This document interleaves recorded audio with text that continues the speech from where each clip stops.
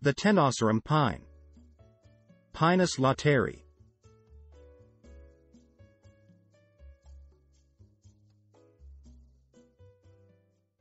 The Tenasserim pine is a medium to large-sized evergreen coniferous tree, reaching heights up to 148 feet in ideal conditions. The bark is orange-red, thick and deeply fissured at the base of the trunk, and thin and flaky in the upper crown. There are two green needles per fascicle, and are usually 6 to 8 inches long. The cones are narrow conic, 2 to 5 inches, long and 1.5 inches broad at the base when closed, green at first, ripening glossy red-brown. They open to 2 to 3 inches broad, often sometime after maturity or following heating by forest fires, to release the seeds. It grows in the mountains of southeastern Burma, northern Thailand, Laos, Cambodia, Vietnam, and on the Chinese island of Hainan.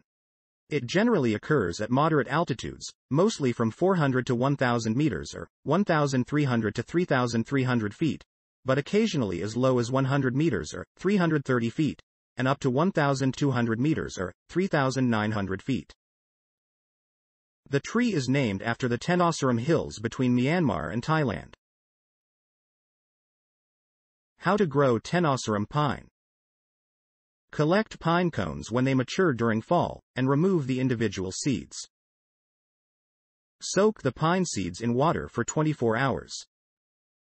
Since the seeds have little to no dormancy, just sow them in a soil medium right away, either in a pot or in the ground. Water the germinating seedlings just enough to sustain them, and keep them in shade.